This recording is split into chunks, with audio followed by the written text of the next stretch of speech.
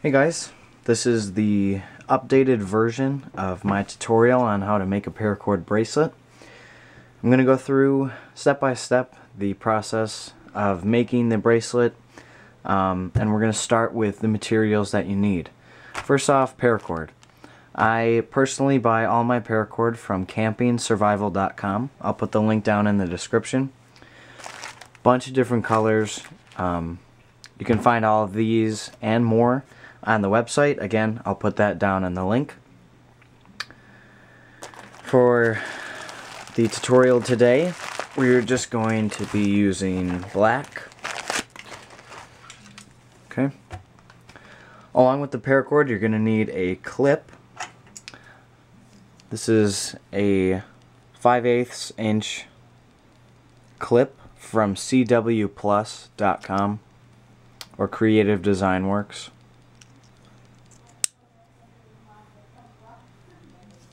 You can go pick those up. I'll put the link down in the description. You're going to need a sharp pair of scissors or a knife and then a lighter. Okay? So let's get started. Alright, once you have the color of your choice picked out, you're going to want to measure your paracord according to your wrist size. Um, they say about a foot per inch of the actual weave that we'll be doing. Um, so if if your wrist is seven inches, then you're going to want around seven feet. I give it a foot, foot and a half more than that. So we're just going to measure that out.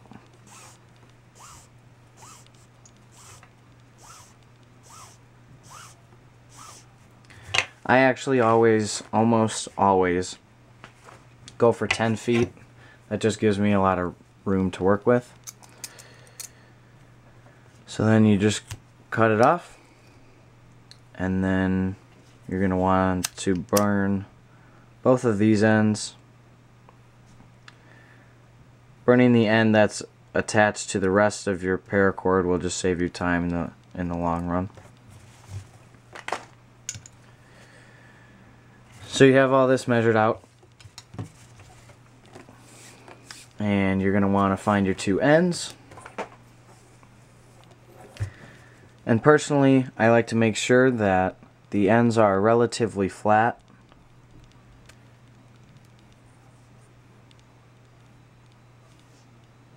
It's just a little bit easier to work with. And then you're going to want to take your clip, take one end, feed both ends through the bottom. Either side of the clip works, but go through the bottom first. Pull the cord through until you get the loop and then pull the rest through, back through I should say.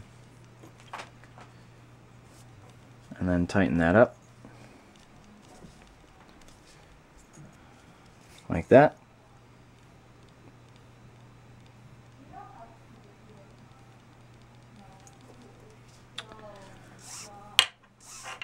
get the two ends of the cord and feed it through the bottom again I'm sorry the top it doesn't really matter what either you put it through the top or the bottom. I prefer to do the top just because it'll turn out a little cleaner. And then pull the excess through. And then once you have it down to looking like this, you're going to want to double check the, the sizing of your wrist.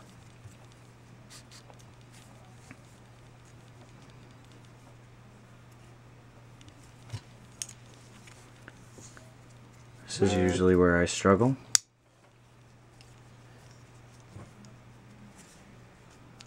You want it to be a snug, but not too tight, leaving some room to work with.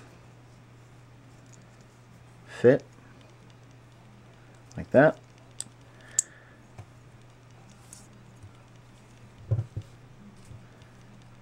And then this is where the weave will begin. Now, if you are a beginner, just get organized, get the middle strand coming down and separate the two ends going off to the side. And then starting with the strand on the left, we're going to cross it over like that.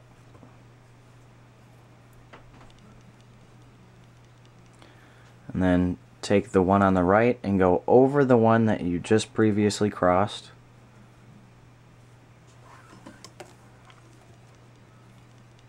So you have that. And take that end and feed it through the loop on the left.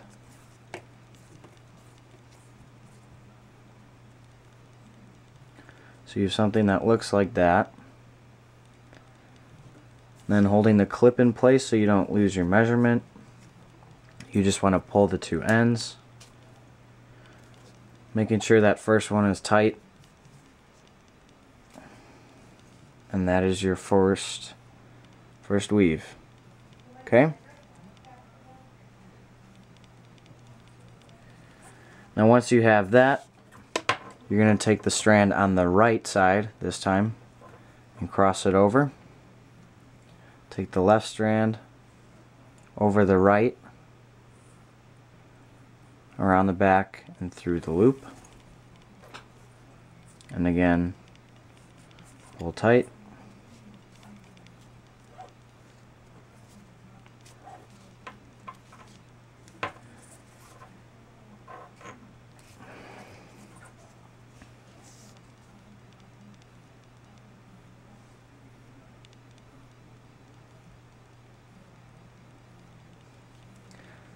Again you're going to start with the left side now.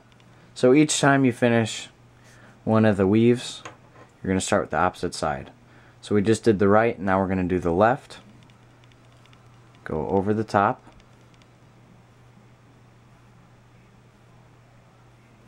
Take the right side.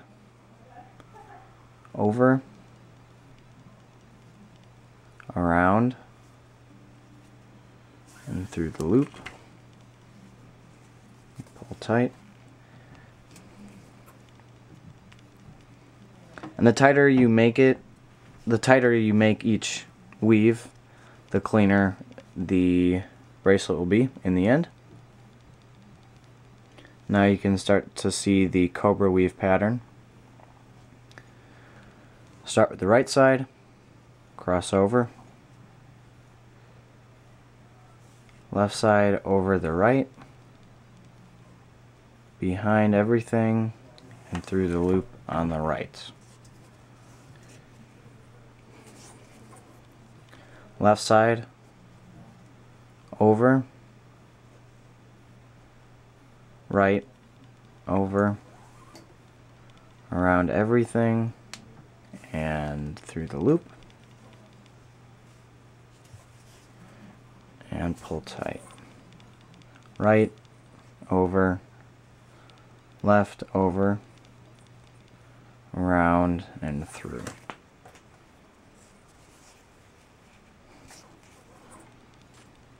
So there you have the weave. I'm going to finish this up and show you towards the end. I'll show you one more. With the left, right over, around, and through the loop. Now if you do, if you get lost or if you forget which side you started with, whatever your last step is, whichever side has the loop coming over, you're going to start with that side. So in this case, since I have that, that loop on the right side, I'm going to start with the right and cross over left over through the back and through the loop. There you go.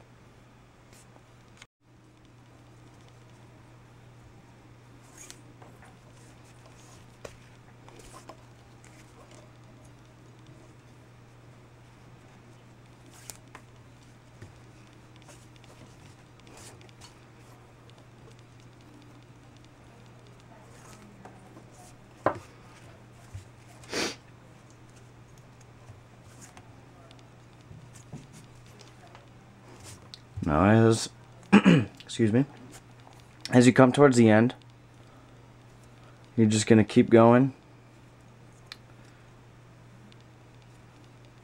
with the weave, making sure to pull each one tight. And now you can either add one more or leave this little gap. I tend to make one more. So we're going to cross over one more time.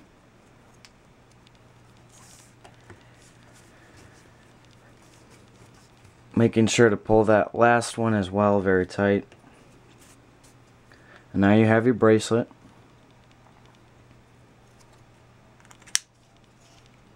Okay. With the tag ends, making sure that you've pulled it tight, you're going to cut each end close to the knot, close to the bracelet I should say.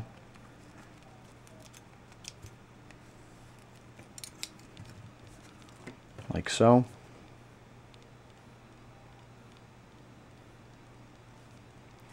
Then using your lighter, you're going to singe both ends. Make sure that you don't get, you don't touch your skin to this stuff when it's right after you pull the lighter away because it is very hot. But after a few seconds you can push that down and make it smooth. And get it flush to the rest of the bracelet.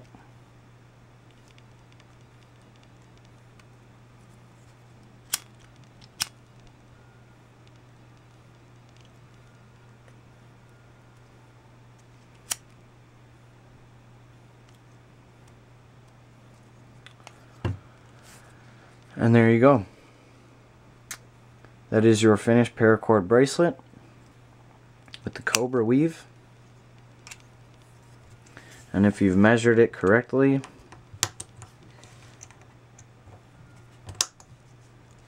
should fit nicely.